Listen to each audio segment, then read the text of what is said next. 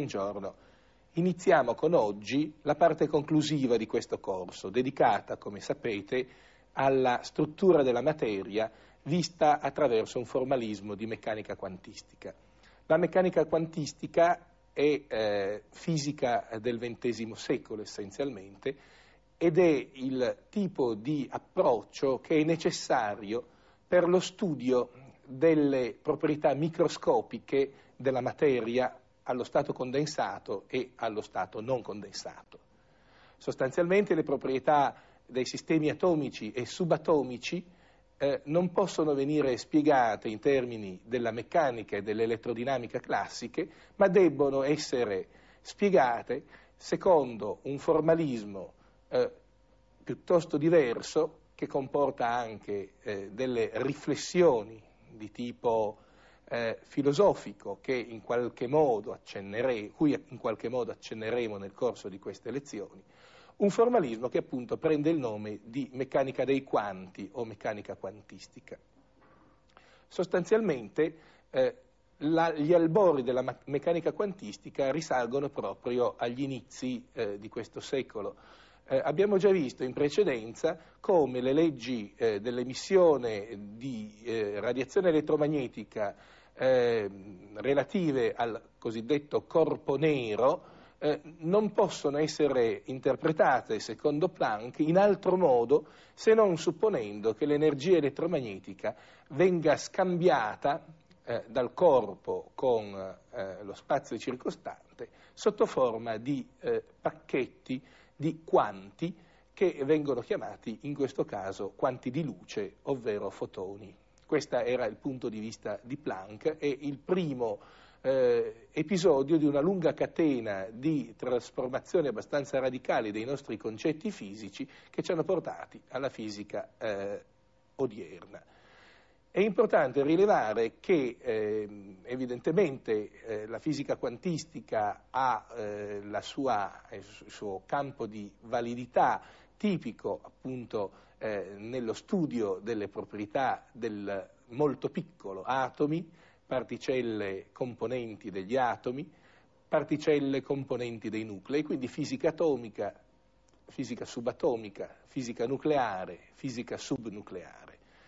Tuttavia, la meccanica quantistica deve ormai far parte del bagaglio culturale non solo dei fisici ma anche degli ingegneri perché eh, la gran parte dei dispositivi allo stato solido o comunque dei dispositivi elettronici che eh, sono eh, in corso di studio, sono già immersi, immessi sul mercato negli ultimi anni di questo secolo, ripeto, la gran parte di questi dispositivi sono basati su, sull'adozione di tecnologie che sfruttano conoscenze di meccanica quantistica. Quindi eh, sostanzialmente la meccanica quantistica sta eh, uscendo dal mondo del eh, molto piccolo, del subatomico, per entrare di prepotenza eh, nella vita quotidiana sotto forma di dispositivi elettronici di tipo quantistico.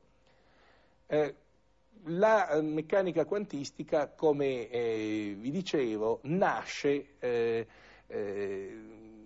anagraficamente proprio all'inizio eh, di questo secolo, l'ipotesi di Planck è proprio del 1900. Molto rapidamente ci si rende conto eh, che eh, l'ipotesi di Planck eh, non è solo eh, confinata al caso di scambi eh, di energia elettromagnetica tra il corpo nero e l'ambiente circostante, ma è in generale, e questo è Einstein a sottolinearlo eh, nella sua trattazione dell'effetto fotoelettrico, in generale una descrizione di tipo quantistico della radiazione elettromagnetica ehm, è necessaria per spiegare alcuni fenomeni, quali l'effetto fotoelettrico, appunto, l'effetto Compton, eh, ne, mh, per la descrizione dei quali apparentemente i formalismi collaudati di tipo ondulatorio della descrizione della radiazione elettromagnetica sotto la specie di onde elettromagnetiche, di, dicevo, questi eh, formalismi collaudati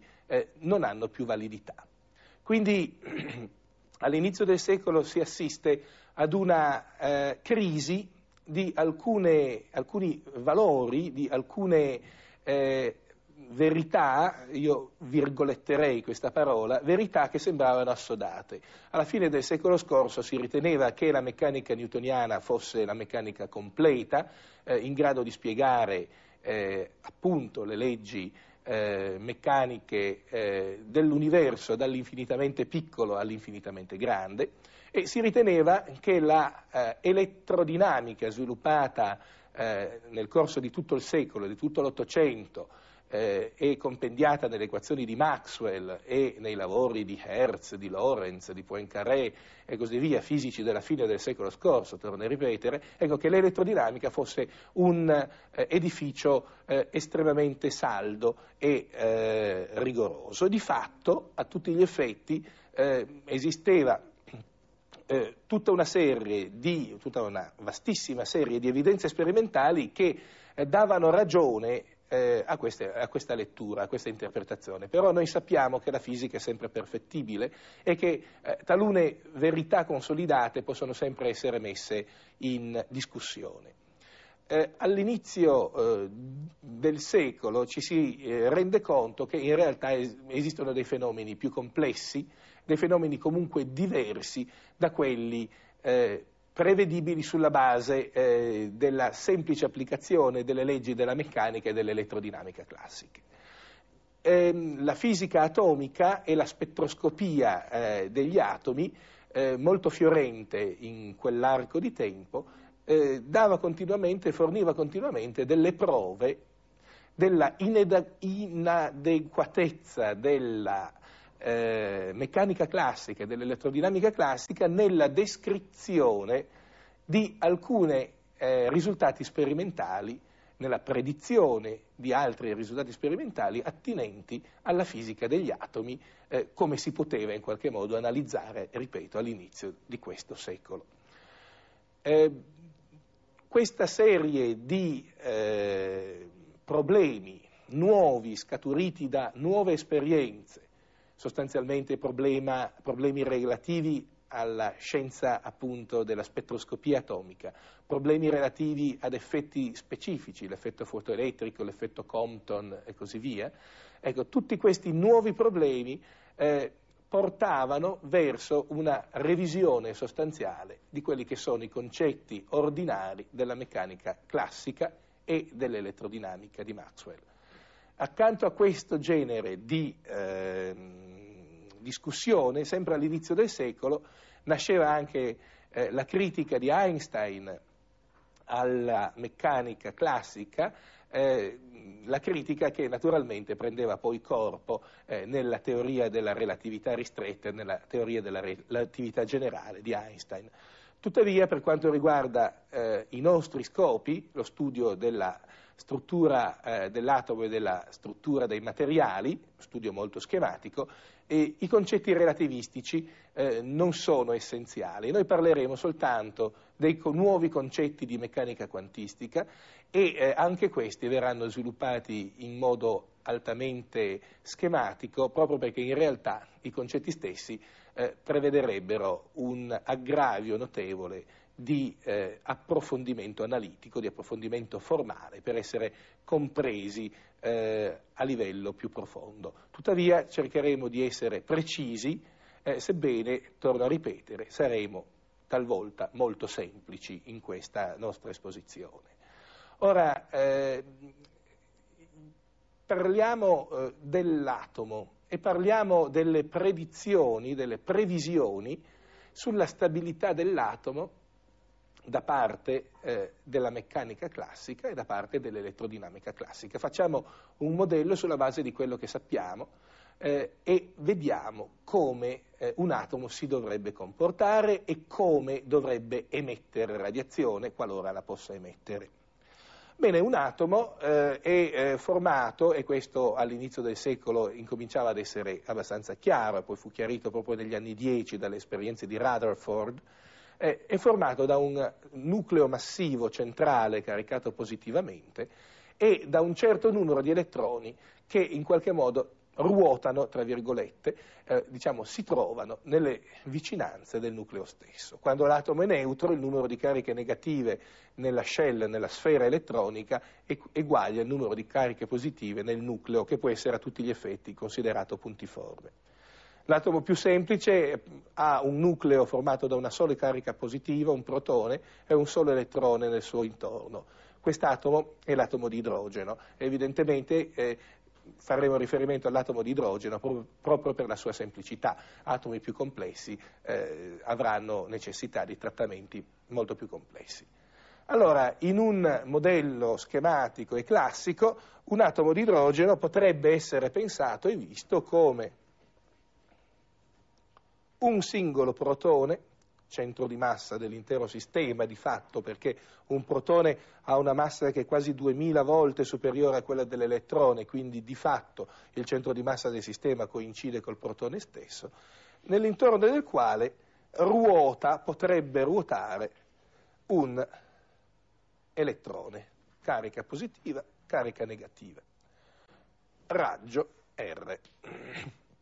Allora, questo è un modello atomico che eh, sembra eh, sostanzialmente eh, un modello planetario, la Terra che ruota in qualche modo intorno al Sole, la Luna che in, ruota intorno alla Terra. In fondo la forza di attrazione gravitazionale è una forza che varia con l'inverso del quadrato della distanza, esattamente come la forza di attrazione coulombiana tra elettrone e protone. Quindi il modello potrebbe essere in qualche modo eh, sensato. Questo sarebbe una specie di modello planetario dell'atomo. Bene, vediamo subito che un modello planetario dell'atomo non ha un grande senso. Eh, intanto ehm, una orbita di questo genere, un'orbita di questo genere eh, è definita con un raggio eh, che è stabilito dalla competizione fra due forze che agiscono sul nostro elettrone. Una forza di attrazione coulombiana, diretta appunto verso il nucleo, e una forza di tipo, se vogliamo, centrifugo. Eh, l'orbita è stabile se le due forze si compensano. La forza coulombiana naturalmente è del tipo 1 su 4 πy 0, sappiamo bene, eh, e al quadrato diviso R al quadrato E è la carica in valore assoluto dell'elettrone, ma è anche quella del protone, perché abbiamo detto che hanno carica uguale. Eh, questo è il modulo della nostra forza, sappiamo che è una forza di tipo attrattivo. Ne prendiamo il modulo e per il momento non consideriamo il segno di questa forza. E questa sappiamo che deve essere uguale alla forza cosiddetta centrifuga. La forza centrifuga eh, è mv al quadrato su r, dove v è la velocità tangenziale dell'elettrone, r è il raggio ed m è la massa dell'elettrone.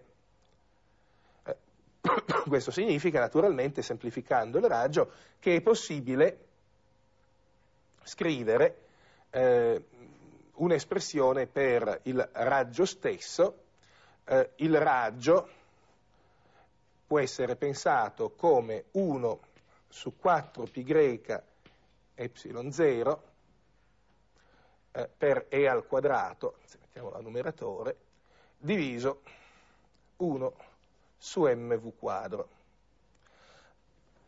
Eh, adesso potremmo anche sfruttare la relazione velocità tangenziale uguale velocità angolare per eh, raggio, e eh, a questo punto sostituire eh, la velocità angolare al nostro, eh, la velocità tangenziale con la nostra velocità angolare qui sotto e quindi avremmo evidentemente uguale e al quadrato diviso 4π epsilon 0 1 su m omega quadro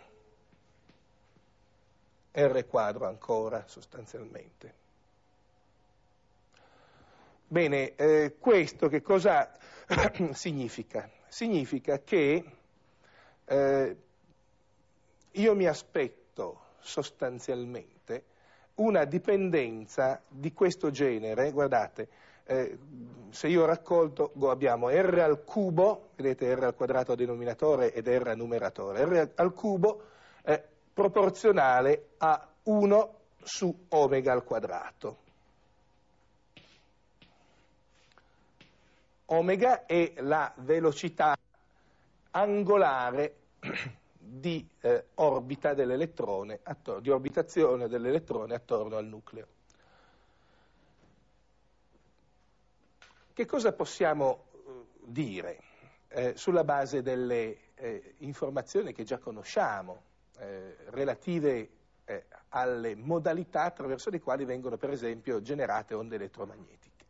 Bene, se un elettrone si muove di moto eh, circolare uniforme attorno ad un nucleo, esso è comunque accelerato. È accelerato perché c'è un'accelerazione di tipo centripeto che evita che l'elettrone si allontani. Ma una carica accelerata è accelerata eh, in questo modo, per esempio, è una carica che emette energia, emette onde elettromagnetiche sostanzialmente onde elettromagnetiche vengono emesse da cariche in moto accelerato in un sistema di riferimento inerziale che coincide diciamo, col sistema di quiete del centro di massa del nostro, del nostro atomo, quindi del protone in questo caso essenzialmente. Bene, un, il nostro atomo è una piccola antenna, questo non è strano, noi sappiamo che gli atomi sono delle piccole antenne. Tuttavia questa piccola antenna sembrerebbe emettere ad una frequenza caratteristica omega che è la frequenza di, eh, eh, associata a questo moto circolare uniforme. Questa frequenza omega è legata al raggio. Il raggio al cubo è proporzionale a omega alla meno 2 sostanzialmente. Quindi eh, maggiore è l'orbita del nostro rotatore, eh, minore sarà la frequenza di emissione e così via. Tuttavia le onde elettromagnetiche portano con sé densità di energia. Questa densità di energia, evidentemente l'energia si conserva, eh, questa densità di energia deve in qualche modo essere ottenuta eh, per il mezzo di un impoverimento dell'energia meccanica totale del sistema. Eh, se questo atomo emette energia, io prevedo in qualche modo che perda energia meccanica e la perdita di energia meccanica, la dissipazione di energia meccanica che si allontana eh, unitamente alle onde elettromagnetiche che devono, per le equazioni di Maxwell, essere prodotte da una rotazione di questo genere, la diminuzione di energia meccanica influenza evidentemente il raggio dell'orbita. Eh, l'orbita, eh, si può vedere subito, diventerebbe sempre meno, eh, diciamo, diventerebbe eh, spiraliforme e l'elettrone avrebbe tendenza in realtà a cadere sopra il nucleo. Allora questo porta eh, a due eh, conclusioni ehm, automatiche sulla base del, della modellizzazione effettuata sinora, automatiche ma entrambe evidentemente in disaccordo con la realtà. La prima cosa che si potrebbe concludere è che gli atomi non sono degli oggetti, delle entità stabili un atomo di, di idrogeno non dovrebbe essere un'entità stabile, se viene persa energia l'elettrone eh, dovrebbe in realtà percorrere un moto spiraliforme fino a essere attratto dal nucleo. Ovviamente uno può concludere che questo tipo di instabilità eh, questa sarebbe naturalmente associata alla perdita di energia che accompagna l'emissione di onde elettromagnetiche, al trasferimento di energia lontano dall'atomo in tutto lo spazio. Evidentemente uno potrebbe argomentare che eh, questa perdita di energia è molto piccola e che quindi un atomo in realtà è molto stabile nel tempo e eh, in realtà ha bisogno di un tempo molto più lungo dei tempi comuni dell'esperienza umana per decadere. Tuttavia eh, un riscontro mm, così anche eh, di calcolo fa vedere che in realtà gli atomi dovrebbero eh, essere instabili su tempi neppure così lunghi e quindi dovremmo vedere instabilità atomica in qualsiasi istante del nostro, della nostra vita, dovremmo vedere degli atomi che in qualche modo scompaiono. E noi sappiamo che gli atomi invece sono molto stabili ed è il primo eh, importante eh, la prima importante considerazione. La seconda importante considerazione è questa. Dato e non concesso che esista un eh, moto spiraleggiante di questo genere, allora vuol dire che eh, in realtà istante per istante il nostro eh, oggetto emettente, il nostro elettrone, cambia la frequenza di emissione. Eh, se il raggio cambia in modo lento ma costante e diminuisce, eh, io mi aspetto evidentemente che anche la frequenza omega di emissione cambi in modo regolare. E quindi mi aspetto che se vado a vedere la luce emessa in qualche banda di frequenza dall'atomo considerato, io dovrei vedere, visto che ho in realtà la luce emessa dall'atomo, significa luce emessa da un numero enorme, numero di Avogadro, qualcosa in 10 alla 23, di atomi per centimetro cubo della stessa sostanza, allo stesso tempo, allora io mi dovrei aspettare sostanzialmente eh, una eh, luce eh, di, di, tutte le frequenze, perché mi potrei aspettare eh, di avere atomi eh, in cui i raggi dell'orbita siano grandi, atomi in cui i raggi dell'orbita siano già decaduti, atomi in cui siano ancora più corti e così via, e quindi frequenze eh, più piccole, più grandi e così via. Ecco, quindi io mi dovrei aspettare una sovrapposizione di luce eh, sicuramente non monocromatica di moltissime lunghezze d'onda, eh, distribuita con uniformità in un intervallo di valore di lunghezza d'onda o di frequenza, un intervallo in fondo grande a piacere. Eh, questo tipo di analisi è un'analisi fattibile, l'analisi cosiddetta spettrografica, quindi del contenuto in frequenza della luce emessa da una particolare sostanza, allora si considera l'idrogeno gassoso e si vede che cosa succede. Allora io mi aspetterei sulla base di modelli di questo genere uno spettro di emissione eh, molto eh, ampio e cos- cosiddetto a bande, ovvero sia uno spettro di emissione in cui tutte le frequenze contenute all'interno di un certo intervallo sono rappresentate. Dovrei vedere luce di tutti i colori, sostanzialmente. Eh, questo è compito degli spettroscopisti. Un'analisi di questo genere viene fatta spettrosco- spettroscopicamente con delle tecniche che in qualche modo sono affini a quelle tecniche prismatiche di cui vi avevo parlato quando parlavamo di dispersione della luce da un prisma. Un prisma serve proprio a separare luce non monocromatica nelle varie componenti. Allora, con tecniche spettroscopiche è possibile osservare gli spettri di emissione dei vari elementi. Allora andiamo a vedere che cosa succede per l'idrogeno e vediamo che cosa eh, dice la realtà sperimentale. Voglio soltanto sottolineare un eh, aspetto molto importante. Eh, il criterio che ci consente di stabilire se una teoria è giusta o sbagliata o comunque incompleta è l'evidenza sperimentale. A questa noi dobbiamo fare riferimento in ogni momento del nostro cammino teorico e quindi è l'evidenza sperimentale che deve in qualche modo dettarci le regole del gioco, dirci se il gioco è condotto con delle regole adatte oppure se le regole devono essere cambiate. E l'evidenza sperimentale in questo caso ci dice che le regole vanno cambiate. Guardate, guardate quello che succede quando io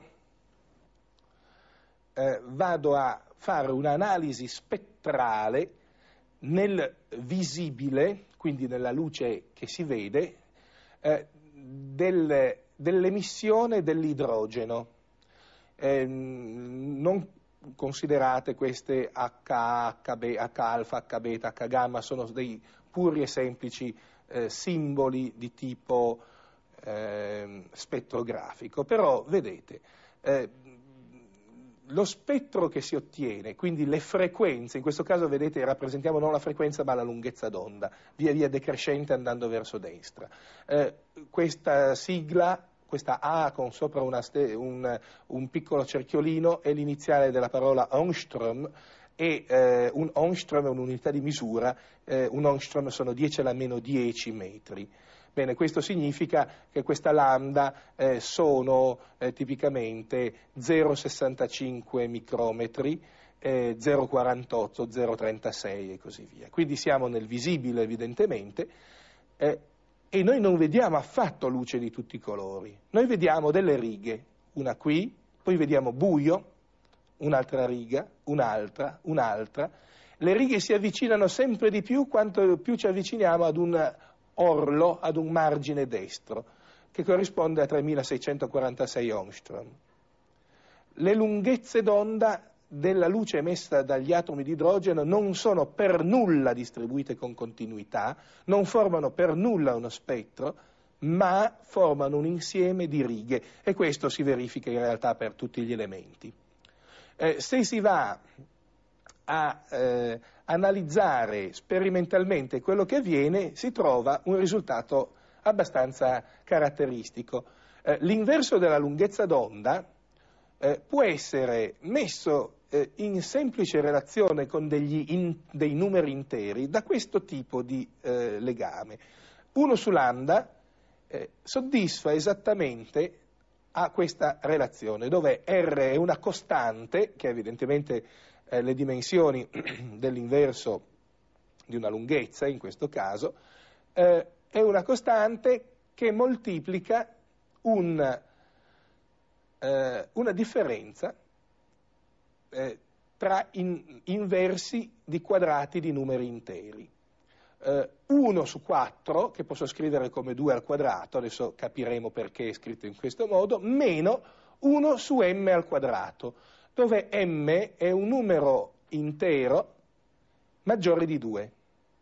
Quindi qui abbiamo un quarto meno un nono, un quarto meno un sedicesimo, un quarto meno un venticinquesimo e così via.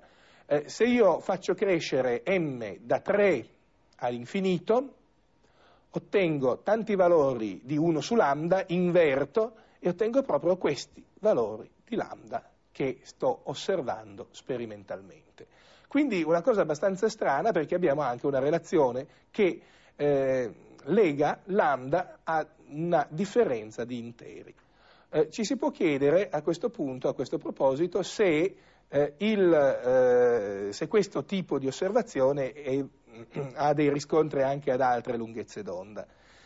Eh, la serie cosiddetta di spettrografica di Balmer, che corrisponde alla lunghezza d'onda nel visibile, in effetti rappresenta solo una parte delle molte eh, serie di termini spettrografici, quindi linee spettrali, che si possono osservare eh, nell'ultravioletto e nell'infrarosso. Le serie hanno dei nomi storici, serie di Lyman, serie di Balmer appunto, serie di Paschen, serie di Brackett. Ma quello che è importante è questo. Vedete qui per esempio per la serie di Lyman abbiamo un, eh, una eh, lunghezza d'onda eh, che sta tra i 1000 Engstrom, che significa 0.1 intorno ai 1000 Engstrom, 0.1 micrometro. Qui non siamo più nel visibile, siamo nell'ultravioletto. Al contrario, le serie di Paschen e di Brackett sono non più nel visibile, ma dall'altra estremità, e siamo, mm, sono sostanzialmente nel, nell'infrarosso. È comunque una serie di, un, un, un insieme di successioni di righe nell'ultravioletto, nell'infrarosso, qui, nel visibile, qui, eh, che rappresentano tutta e sola la radiazione emessa in, dagli atomi, da un insieme di atomi emettenti di puro idrogeno.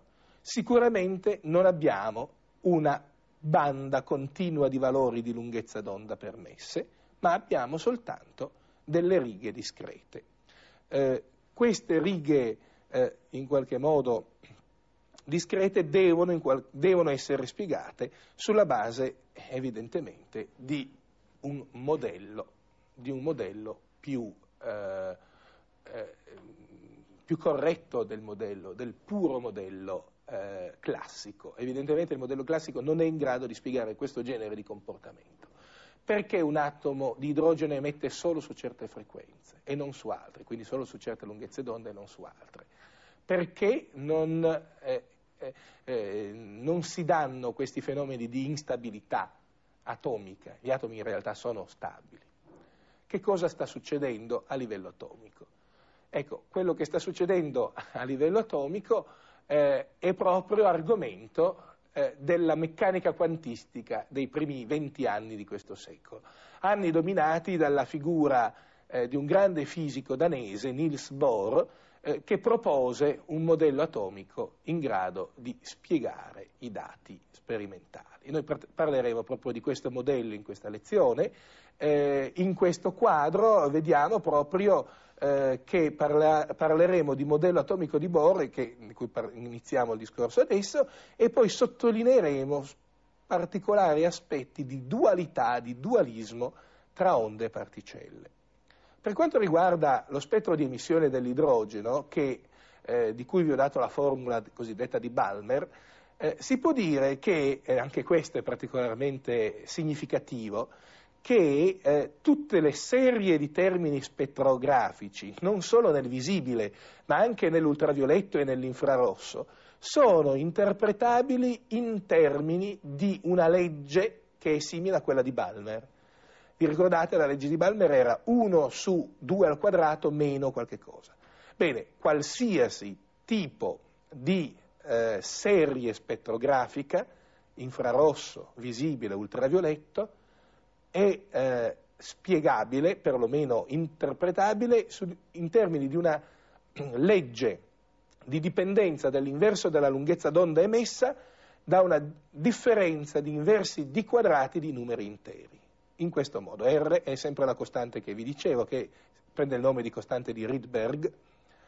Rydberg è un fisico spettroscopista dell'inizio del secolo. M ed N sono due numeri interi, qualsivoglia a questo punto, con ovviamente la condizione che il modulo di M sia maggiore del modulo di N, M sia maggiore di N in modo tale che questa differenza sia sempre definita positiva. Allora voi potete vedere qui sostanzialmente che eh, la serie di Lyman, per esempio, è ottenuta mettendo n uguale a 1. 1 meno 1 su m al quadrato. La serie di Balmer è ottenuta con n uguale a 2, abbiamo già detto. La serie di Paschen, che è quella successiva, ha n uguale a 3 e quindi m prende valori 4, 5, 6 e così via, eccetera, eccetera. Ritornando sostanzialmente alla nostra immagine eh, delle righe di emissione, sembra proprio che ehm, le transizioni atomiche, diciamo l'emissione eh, dei, eh, di luce visibile o di radiazione nell'infrarosso e nell'ultravioletto da parte del nostro atomo di idrogeno, ma in generale di tutti i sistemi atomici, avvenga per transizione da stati caratterizzati da valori di n di m. Per esempio n uguale a 1 abbiamo m uguale a 2, 3, 4, 5 e così via, poi non sono stati più disegnati. Eh, partendo con n uguale a 2 abbiamo m che vale 3, 4, 5 fino a infinito e poi non sono stati disegnati e così via. Quindi eh, sembra effettivamente che da questo punto di vista la struttura dell'atomo non solo sia anomala, ma obbedisca a delle leggi molto semplici in cui gioca un ruolo giocano un ruolo fondamentale dei numeri interi. Quindi evidentemente c'è qualche cosa di, appunto, per usare una parola che adesso useremo spesso, quantizzato nella struttura atomica dell'atomo, eh, del, del, sistema considerato, in questo caso dell'idrogeno, ma torno a ripetere, di, di tutti i sistemi atomici che possono essere analizzati queste proprietà così anomale dell'atomo di idrogeno eh, sono state interpretate da Bohr eh, facendo uso di una ipotesi apparentemente molto ardita. L'ipotesi di Bohr eh, consiste nel ritenere che una tipica grandezza meccanica eh, relativa al moto dell'elettrone attorno al nucleo eh, non possa assumere una infinità di valori continui come farebbe nella meccanica classica, ma solo alcuni valori discreti. Questa è una ipotesi di quantizzazione per questa quantità fisica che è eh, non la distanza, ma è qualcosa di lievemente più complicato, è eh, semplicemente il momento angolare o mom- momento della quantità di moto della eh, particella, dell'elettrone. Eh, vediamo un attimo eh, nella, nella, sul, quadro, sul quadro che vi compare, la condizione di quantizzazione del momento angolare dell'elettrone. Il momento angolare è un vettore, voi sapete, ma il suo modulo, e noi ci occupiamo qui di modulo soltanto, è dato in queste circostanze di moto circolare attorno ad un centro fisso, dal prodotto della massa per la velocità per la distanza r. Ecco, eh, ovviamente questo oggetto eh, classicamente è qualcosa che può assumere eh, valori continui. L'ipotesi ardita di Bohr è che questo momento angolare per il, eh, l'elettrone rotante attorno al nucleo assuma soltanto eh, valori che sono multipli interi di una costante fondamentale. La costante fondamentale è strettamente imparentata alla costante di Planck che abbiamo eh, ricavato, che abbiamo introdotto nella discussione del spettro del corpo nero e eh, la costante h tagliato è semplicemente h su 2π, quindi ha le stesse dimensioni di una azione. Questo h o h tagliato sono quanti elementari di azione. Bene, il momento angolare, secondo Bohr, è, eh, non può assumere eh, una infinità di valori, ma soltanto eh, alcuni valori, naturalmente n assume tutti i valori 1, 2, 3 fino a più infinito, quindi una infinità pure di valori, ma discreti. E questa è una eh, approssimazione eh, estremamente, una, una eh, assunzione estremamente eh, rivoluzionaria per quanto riguarda la eh, diciamo, eh, struttura fine di una eh, proprietà fisica a livello atomico, perché è la prima volta che una proprietà meccanica viene in qualche modo quantizzata. Ad una meccanic- proprietà meccanica viene attribuita soltanto la possibilità di ehm, di avere eh, un certo numero ben determinato di valori che soddisfano una certa legge dove gioca un ruolo fondamentale un numero intero. Ecco, questa è una legge di quantizzazione per una me- proprietà meccanica. Bene, eh, vediamo rapidamente che questa eh, ipotesi di, di, Bohr è in grado di spiegare effettivamente gli spettri di emissione dell'atomo.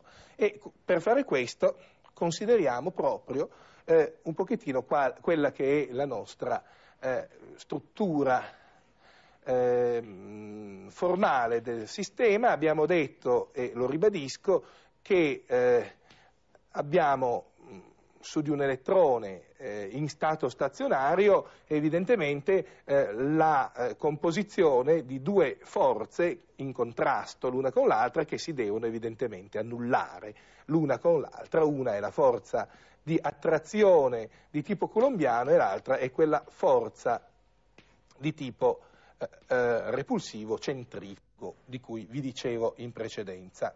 Eh, a questo punto noi possiamo fare una eh, banale trasformazione, moltiplichiamo per r al quadrato, riscrivo il tutto, 1 su 4 π y0 per e al quadrato uguale a mv quadro per r. Ho soltanto moltiplicato per r al quadrato. Ricordandoci la eh, definizione classica del eh, momento angolare L, eh, questa espressione eh, può anche essere scritta come L al quadrato diviso m per r. In effetti il momento angolare è proprio definito come m per v per r e quindi potete subito controllare questa, ehm, questa posizione. E fin qui non c'è nulla di nuovo. Adesso però introduciamo direttamente l'ipotesi di Bohr. L'ipotesi di Bohr è che L non sia una funzione continua dello spazio e della velocità, ma assuma soltanto appunto dei valori che sono multipli interi di h tagliato. Allora L al quadrato è n quadro h tagliato al quadro diviso mr. A questo punto vedete che abbiamo una relazione ben precisa che ci lega il valore del raggio dell'orbita a questa n. Possiamo scrivere eh, in questo modo. Scriviamo qui R è uguale a n al quadrato h tagliato al quadrato diviso m per 4 π y0 diviso ancora carica dell'elettrone al quadrato. Allora vedete che eh, questo raggio ormai secondo l'ipotesi di Bohr, è il raggio dell'orbita dell'elettrone e non assume più valori che variano con continuità. Questo era eh, il, il, problema. Eh, questo raggio può assumere soltanto dei valori eh, che sono, eh, diciamo, in qualche modo multipli di, una, eh, di, un valore fondamentale. Per n uguale a 1 ovviamente abbiamo il valore più basso. Visto che il raggio dipende da n, in realtà da n al quadrato, come vedete, io posso connotarlo con un pedice. È il raggio di quella che viene chiamata la ennesima orbita di Bohr. Io posso anche scriverlo come n al quadrato per un certo R0 che è semplicemente questa grandezza, questa quantità. R0 è uguale a 4 π ε0 h tagliato quadrato diviso m e al quadrato. Questa, questo rapporto ha le dimensioni evidentemente di una distanza e viene chiamato raggio di Bohr dell'atomo di idrogeno. Um, il raggio di una qualsiasi orbita può essere R0 o 4R0 o 9R0 o 16R0, eccetera, eccetera, con n appunto che varia da 1 a infinito. Eh, questo tipo di eh, relazioni le vedete anche sul vostro schermo. Ecco, eh, questa è l'espressione del raggio dell'ennesima orbita di Bohr e come vi ho detto questo è il valore del raggio di Bohr. Notate che il valore numerico per l'idrogeno, eh, quindi per l'elettrone rotante attorno al protone, è circa 0.5 Ångström. 0.5 eh, in 10 alla meno 10 metri. Questa è la distanza tipica, minima, possiamo dire, che separa un elettrone dal nucleo. Tutti gli altri raggi sono evidentemente eh, maggiori. Consideriamo ora le energie associate alle varie orbite di Bohr. Eh, per far questo dobbiamo naturalmente scrivere eh, l'energia meccanica totale del nostro sistema, che è un sistema conservativo, l'elettrone è soggetto a una forza centrale conservativa e quindi ammette eh, un'energia potenziale. L'energia eh, totale del sistema sarà data dalla somma dell'energia cinetica, un mezzo mv quadro dell'elettrone, eh, più l'energia potenziale che sappiamo dipende eh, dalla posizione dell'elettrone e la posizione parametrizzata dal raggio di Bohr R con n. Eh, l'energia potenziale è presto ottenuta perché U con Rn è semplicemente data da meno 1 su 4 π y0 e al quadrato diviso R con n. Questa è l'energia potenziale che è negativa perché si tratta di un potenziale attrattivo come voi sapete bene. Adesso dobbiamo analizzare eh, l'energia cinetica.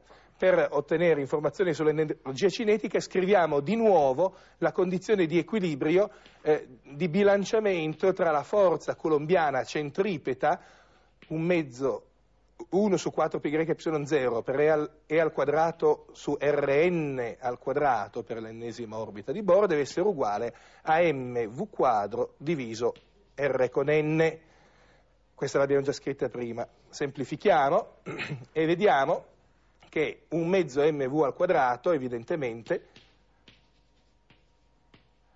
può essere scritto come 1 su 8 π y0 e al quadrato su r con n, ma per riscontro tra questa espressione e quella scritta in precedenza, qui possiamo anche scrivere questa espressione come meno un mezzo u di R con N. Questo significa che la nostra energia totale è con N, eh, esprimiamo, eh, eh, scriviamo proprio esplicitamente il pedice N perché l'energia dipende dal livello ennesimo, sarà la somma di energia cinetica, che può essere scritta come meno un mezzo U di Rn, non lasciatevi trarre in inganno da questo segno meno, un'energia cinetica è sempre posi- definita positiva, e il fatto che è la U che è negativa, e quindi evidentemente questo oggetto è positivo, più U di R con N. E questo è uguale a più un mezzo di U di R con N e quindi è uguale a meno 1 su 8 pi greca y0 e al quadrato R con N come compare qui. A questo punto noi possiamo ancora esplicitare l'ennesimo raggio di Bohr, eh, ricordiamoci che Rn è uguale a NZ, N per, al quadrato per R con 0, e quindi possiamo ancora scrivere meno 1 su 8 pi greca y0 e al quadrato diviso R0 per 1 su n al quadrato ancora. E questa è l'espressione che compare sul vostro schermo adesso ed è l'espressione relativa all'energia dell'ennesimo livello. Questa è l'energia, eh, è una successione di energie ammesse eh, l'energia più bassa, perché qui c'è un segno meno, no? l'energia più bassa corrisponde a n uguale a 1 e la più alta corrisponde a 0 che si ha quando n tende all'infinito. Sono tutte energie negative il cui limite superiore è lo 0 cui si, te, cui si arriva facendo tendere a n ad infinito. Eh, nella prossima lezione noi parleremo, eh, noi vedremo come questa pre- previsione dell'atomo di Bohr eh, consenta di spiegare gli spettri atomici, eh, le serie di Lyman, di Balmer, di Paschen e di Brackett che abbiamo visto, quindi la quantizzazione spettrografica che abbiamo visto. Tuttavia, vorrei far rilevare già adesso una importante caratteristica. Dunque, questi sono valori consentiti a quanto pare, sono valori permessi, eh, valori del momento angolare che abbiamo visto, multipli di H tagliato, e questo implica l'esistenza di valori mh, mm, specifici eh, del raggio dell'orbita, quindi non tutte le orbite sono, sono, lecite, ma soltanto quelle che hanno certi raggi, ma queste sono stabili, sono stazionarie. Eh, non tutte le energie sono lecite, ma soltanto le energie eh, associate a determinati valori no? Della, eh, come abbiamo visto, de, dell'intero n. Bene, eh, questo eh, che cosa significa? Significa che stiamo incominciando a esaminare e a dare una descrizione della natura che è molto diversa da quella che eh, era mh, la descrizione classica. Eh, esistono delle orbite consentite, solo un set infinito ma discreto di orbite consentite, un insieme definito eh, eh, diciamo, eh, infinito ma discreto, però attenzione, queste orbite sono stazionarie. Sembra che quando un elettrone è sopra un'orbita di questo genere non perde energia, perché è un'orbita stazionaria, è un'orbita consentita. Eh, stiamo veramente eh, dando una descrizione molto diversa della struttura atomica e del modo con cui gli atomi emettono energia. Eh, la descrizione a cui stiamo arrivando è questa. Eh, gli atomi non emettono energia fin quando si trovano in stati stazionari. L'emissione di energia non avviene con continuità, ma avviene soltanto quando un atomo transisce da uno stato ad un altro, quando cambia n. E in questo cambiamento, eh, durante questo cambiamento, si ha emissione di uno o più pacchetti di energia. E questi pacchetti di energia, vedremo, saranno proprio i quanti di Planck che erano stati già introdotti nella descrizione della, mh, mm, dello scambio energetico eh, di onde elettromagnetiche e nella propagazione di, di, onde elettromagnetiche in determinate condizioni sperimentali. E questo eh, lo vedremo naturalmente nella lezione seguente.